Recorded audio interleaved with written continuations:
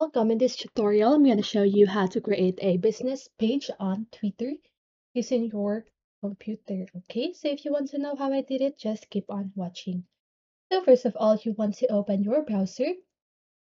And then after that, just go ahead and search for twitter.com. And actually creating a business page or account here on Twitter is the same as making your own or personal Twitter account. Okay, so if you want to create your personal account, you can follow these steps. And if you want to create a business account or page, you can follow these steps. Okay, so after you search for twitter.com, you can now sign up for one by clicking sign up button here at the lower part of your screen. And then here you can also sign up with Google or Apple, or you can also just click create account.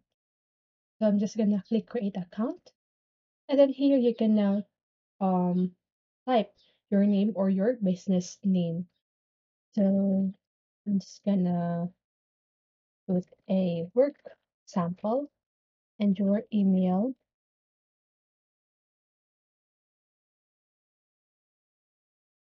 And birth date. and click next. Next. And then here you just want to um, recheck to confirm that your information is right. And now you just need to authenticate your account. So here use the arrows to change the number of objects until it matches the left image. So 1 times 1 is the 1x1. I really don't know how to do this.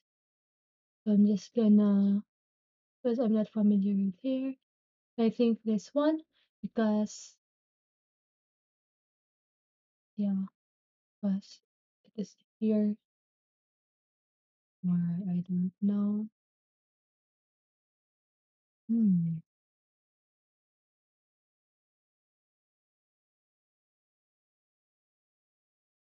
that and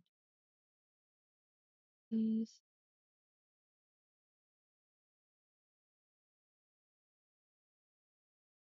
I really don't know how to do this, I'm just gonna try again. Three here, I think. Oh, now I get it.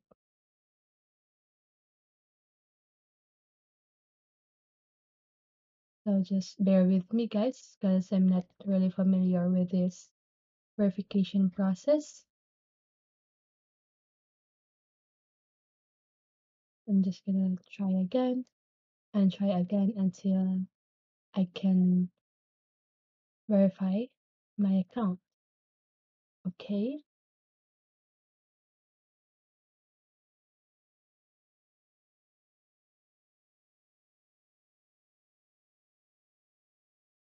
There, where you've proven you're human. So here you want to check your Gmail because Twitter will send you a verification code. So here, as you can see, it's 606034 or 606034 and then next. And now you can create your password.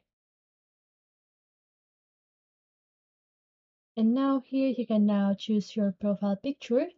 So if you're doing a business page, just go ahead and put your business logo here. So I'm just gonna skip this for now, but if you are following these steps, you can now just click here at the camera icon and put your logo there. So here, your username, okay? So just go ahead and put any username that you want, but for mine, I'm good with this one. It's for example 72144. And then now you can just go ahead and sign up your or go ahead and sign up for all of the forms, okay? So here You can now select any categories that you want. So business and finance, technology.